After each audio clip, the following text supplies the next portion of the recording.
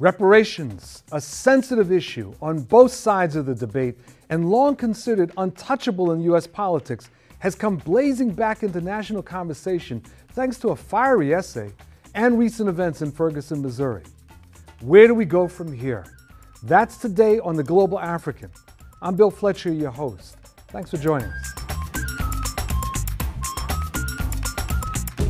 The reparations debate has returned, Uh, in large part because of the contribution of Ta-Nehisi Coates, whose essay in The Atlantic has shaken many people, reawakened interest in, in a debate that periodically surfaces like a seasonal flower. Reparations is about repair and repairing damage. It's a, it's a debate that takes place not just in connection with the African experience in the Western Hemisphere, but internationally.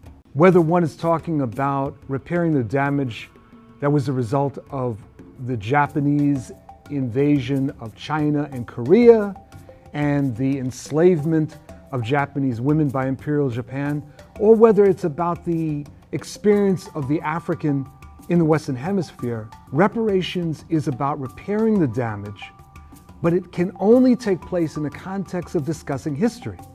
That is, there must be a willingness of a country and its total population to come to terms with their own history. And this is the problem that we in the United States face that we would rather avoid discussing the past unless we want to discuss a myth. We rather avoid looking at problems, errors, horrors, atrocities. We'd rather focus on what we would like to believe that the past was. But when you engage in myth making and in the beliefs in myths, you can't repair the damage that was actually done. And we're joined in the studio with Professor N.D.B. Connolly. Professor Connolly is assistant professor of history and a co-director of the Racism, Immigration, and Citizenship Program at the Johns Hopkins University. He's the author of A World More Concrete, Real Estate and the Remaking of Jim Crow South Florida, published by the University of Chicago Press. Welcome to the program. Thank you, Bill. So let's jump right in. The Coates article on reparations that was in the Atlantic, your response? I had been a follower of uh, some of Coates's writings for about three or four years before this piece came out. One of um, my favorite pieces was Fear of a Black President. He'd done some other work on Bill Cosby and kind of class dynamics. And so there was a lot of publicity for the reparations piece just before it came out in March of this year. Mm -hmm. And I was, you know, anticipating it as were many people. And so I kind of sat down and grabbed a copy and just, you know, read the whole thing in hard copy from beginning to end. And when I first read it, my initial reaction to be honest, was a little bit of envy because I think he's got a lot of talent as a writer, but even more to the point, he's got a way of bringing a really complicated and difficult history to the public in a way that many historians simply kind of dream of, of having that kind of audience. Now, in terms of the initial point about you know Israel and reparations to Israel, it was less a concern for me about the actual dynamics of the specific Israeli case than it was about believing in a kind of nation building project that you could somehow separate a subsidized nation building project from a racial project. In, in, terms of my own research and the work of a, a, lot of other historians, it's become very clear that when you're trying to build a country and you have to determine who are citizens and who aren't, how you go about allocating resources, oftentimes racism continues to get perpetuated through those mechanisms and through the playing of certain kind of um, preferential treatments or even trying to figure out among you know minority groups which elites are going to dictate who gets what and it tends to create some tensions between poorer and wealthier minorities many just to be clear there, there are many people involved in the reparations movement mm-hmm. but not entirely uh, that do look at reparations as a means of laying the foundation for the creation of an african american nation mm-hmm. is that what you're criticizing in part, in part, I think the um, discussion of creating a nation within a nation. I know, for example, Republic of New Africa in the late 1960s Correct. was, you know, very much committed to this idea, and I think we have to really, you know, think through one what nation building requires. how we're willing to support the monopoly, the state monopoly on violence, which seems to be necessary for nation building projects. How you talk about generating wealth and using, you know, capitalism to create niche markets that can become, you know, very exploitative. Oftentimes, black on black predation occurs under these environments of, mm. you know, kind of isolated, um, you know, national communities that, where people don't have options. And I'm certainly, you know, can talk more about that specifically. I think there's there's a real need to think about class dynamics under capitalism within black communities before we start talking about building nations. But even let, us let's, let's open it up uh, a little broader because mm-hmm. Not everyone that uh, supports reparations supports an independent black republic right. or something like that.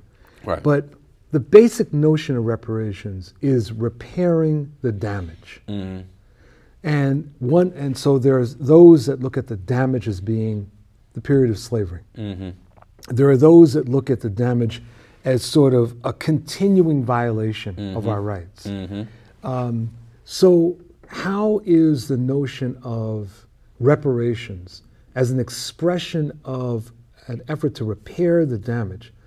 How is that inconsistent with uh, challenges to capitalism itself as a system? So when you're thinking about reparations for slavery, I'm, I hold what may be a minority view that it's going to be impossible to quantify the loss of lives, the loss, loss of man hours, broken up families, sexual mm-hmm. violations, all of the things that went into slavery as an institution. It, mm-hmm. it, literally is priceless. You cannot put a number on that. And the way in which the country, especially in the 20th century, generated its you know, wealth and really became a superpower had as much to do with segregation and Jim Crow as it had to do with the previous wealth accumulations that were done under slavery. So from where I sit, simply putting slavery in a jar and saying, okay, we're going to look at black loss of life, black hardship from 1619 to 1865, or even bring it up through the Reconstruction period and thinking about just the difficulties sure. there. That's not going to actually solve our problem because the, the deeper problem are those continuities that came out of slavery, the difficulties that blacks had of holding on to land once they, in fact, acquired it. If it's not inconsistent with uh, the larger question of capitalism, mm-hmm. then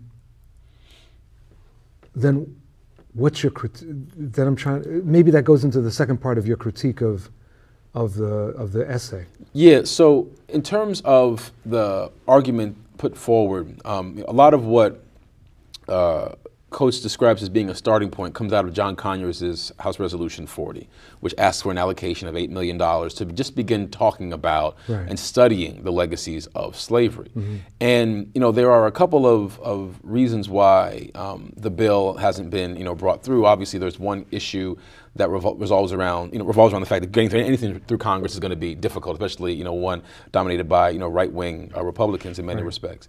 Um, but there's also another issue that gets raised about you know the political will among African Americans to really push it, push this issue because eight million dollars, as you know, is a drop in the bucket in mm-hmm. terms of the kinds of resources that African Americans have at their disposal. Mm-hmm. I mean, LeBron James and Jay Z and Beyonce could pull their resources and come up with eight million dollars tomorrow if they wanted to. That's right. Right. Absolutely. Um, so the issue is not necessarily the eight million dollars and getting that allocated.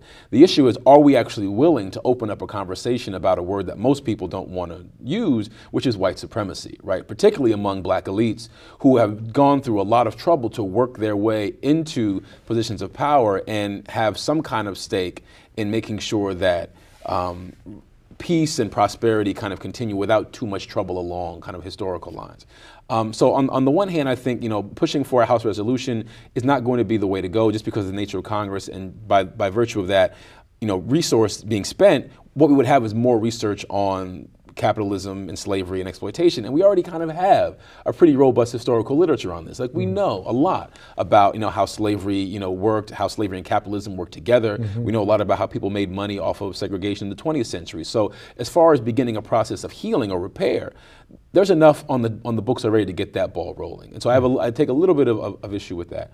Um, the other thing is that you know in terms of what I mentioned earlier, like restructuring society, there are a couple of very concrete things that I think we can do. You know, um, again, that don't necessarily get addressed in, in Coates' piece, but I think obviously he's thinking about these things. One is having a 15th Amendment that has some real teeth in it, that makes voting rights a positive right, not simply a right that the states so-called can't take away, right? Because in this country, you're not actually guaranteed voting by the Constitution. I think that needs to change. I think there needs to be a way that we guarantee that even if you're convicted of a felony, felony you don't lose the franchise. That would mm -hmm. fundamentally change from the outset the relationship between black communities and the political process in the age of mass incarceration. Right? That's the first thing.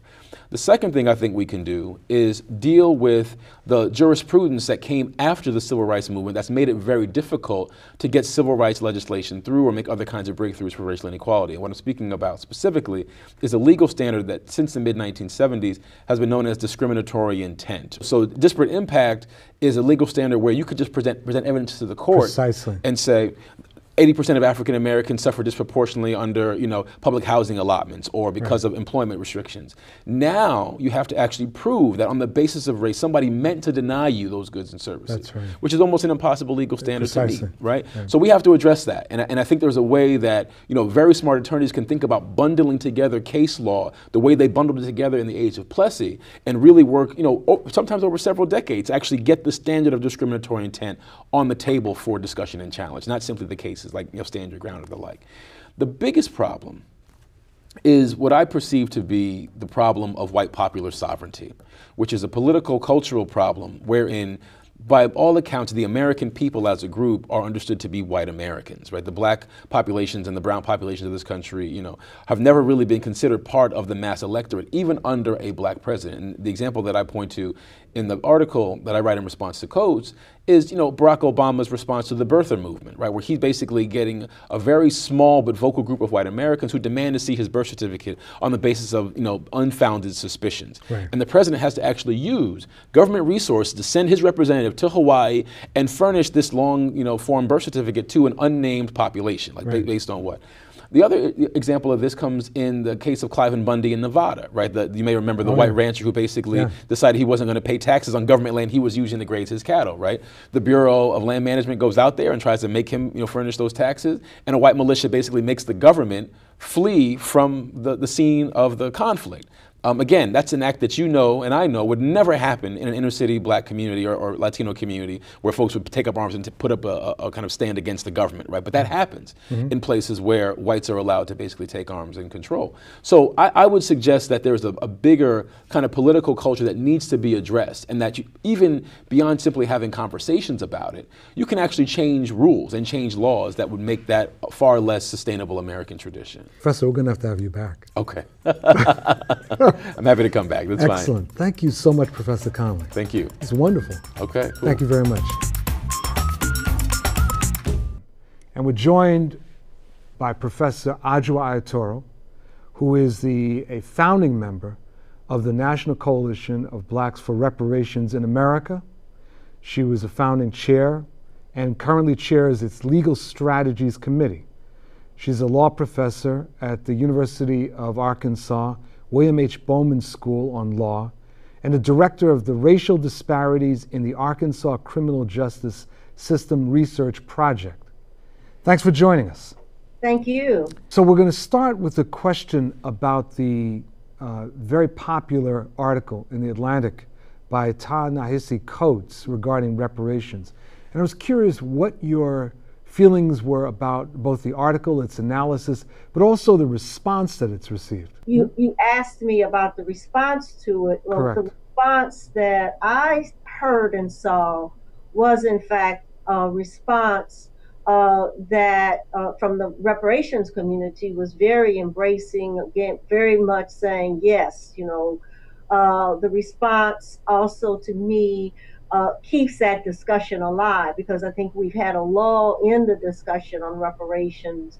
Uh, and I think it keeps it, it, it, it makes it a national focus uh, because of, of the uh, person who was writing the article had a national forum. Uh, and so I think the response to it uh, that I heard that was positive is good from the reparations community and others too. I don't think they would that that was the only positive response. And I always feel any negative response, and I didn't see a lot of negative response, but I didn't research and in that in terms of response. But my view has always been with reparations since we first started the uh, the N'COBRA first started back in the late 80s.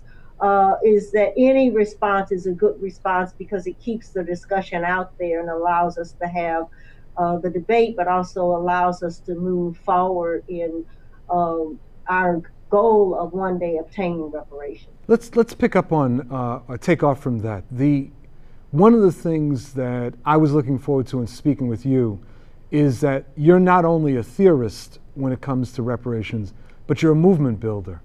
And Yes. and I'm interested in your sense as to what have been some of the challenges in actually moving the reparations discussion, uh, including within Black America, but not just exclusively Black America.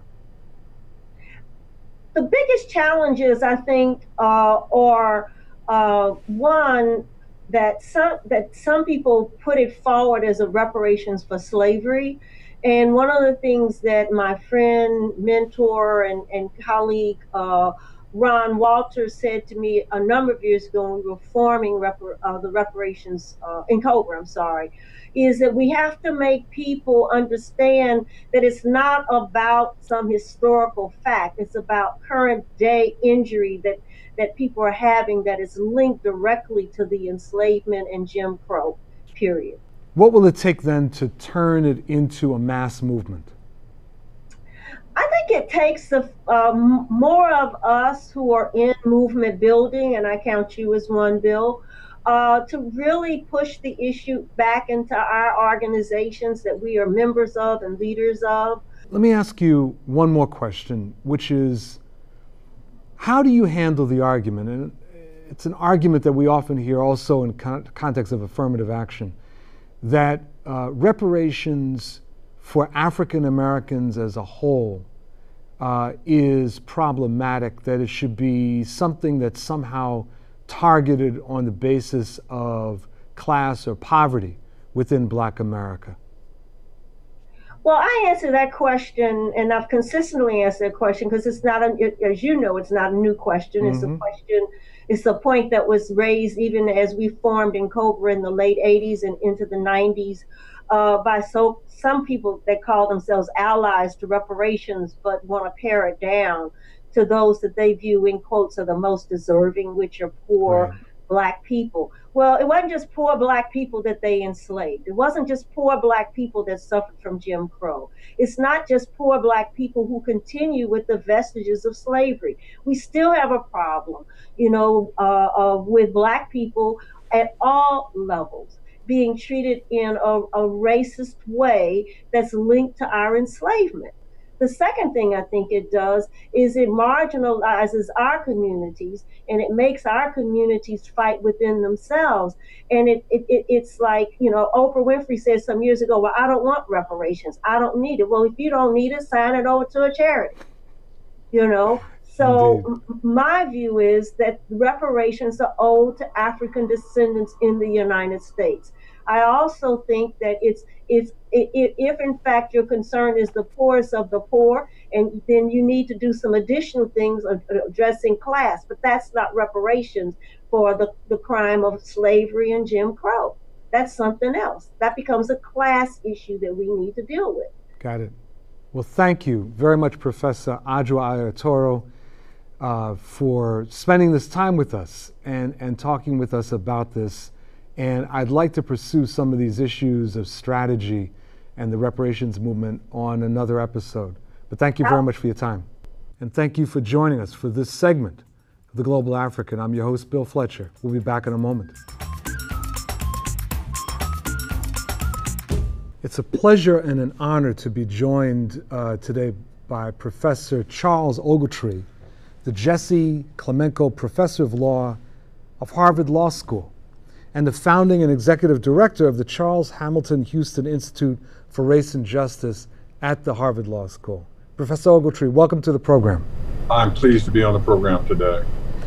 I wanted to start with a discussion of the uh, Coates article on reparations from the Atlantic and just your thoughts about the content of the article as well as the reception that it's received.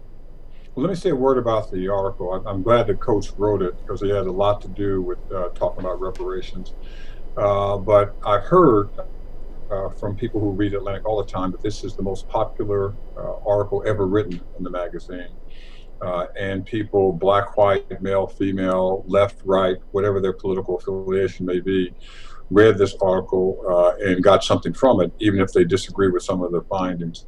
And said a little bit about uh, the author. Uh, what was made, made it so significant is that this is the year 2014, and the whole idea that the reparations movement, which we talked about decades ago, uh, still has uh, not only some vitality, uh, but has a lot of people trying to figure out where it's going to go. And the final thing I want to say is that there have already been uh, in 2014 some granting of reparations. the role that the German, Germans have played with some societies, the role that uh, people around the diaspora uh, have been able to get some reparations. Uh, and I can tell you right now, having traveled from Los Angeles to Boston, from the West Coast all the way through the East Coast, people are still asking me every single week, you know, what's happening with the reparations movement? It's alive, uh, it's well. We're trying to make sure that uh, this government, like other governments, are responding to the need to give people uh, something that they deserve it seems clear that there's a sentiment, at least an interest in, in uh, within uh, Black America on reparations, but it's not clear to me that there's a movement. Would you disagree? There is a movement. I'm going to Los Angeles in October, and I've already been contacted by people about that. I've been contacted by individuals who carry these signs about reparations for people of African descent uh, who are doing it not just when there's a demonstration, not just when there's a rally, but every single day. Uh, and people are asking for more information. Uh, and so it, it is clear.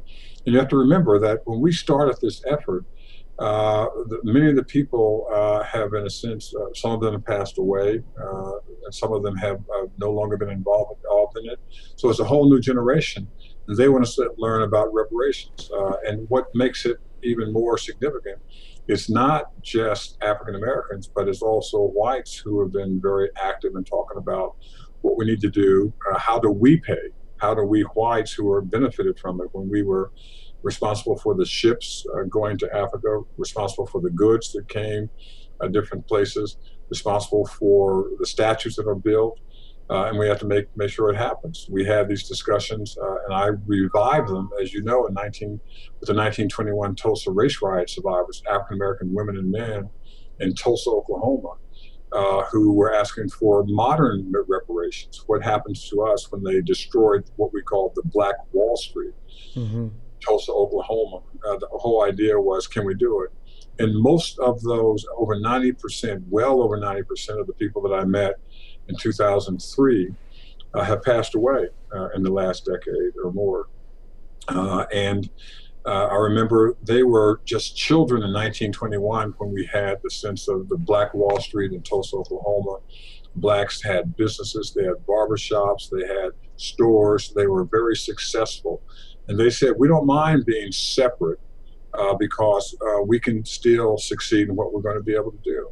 And meeting those people and going down to Tulsa, Oklahoma, uh, and talking to them uh, and finding out that they were the children uh, of uh, reparationists, people who moved for reparations in the early 20th century in 1920 and 1921, and that was very important. Professor Charles Ogletree of Harvard Law School, thank you so much for taking this time to spend with us to discuss this issue.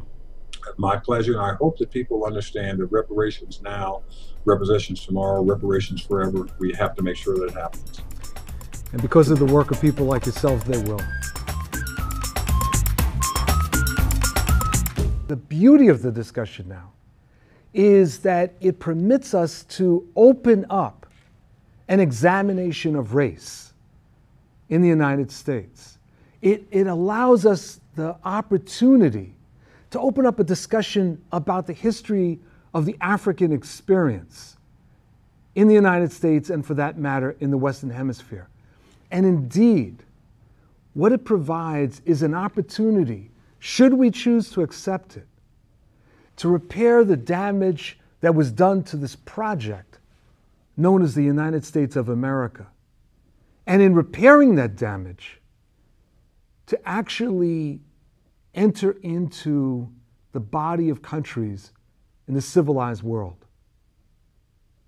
Those are my thoughts for this episode of The Global African. I'm your host, Bill Fletcher. Thank you.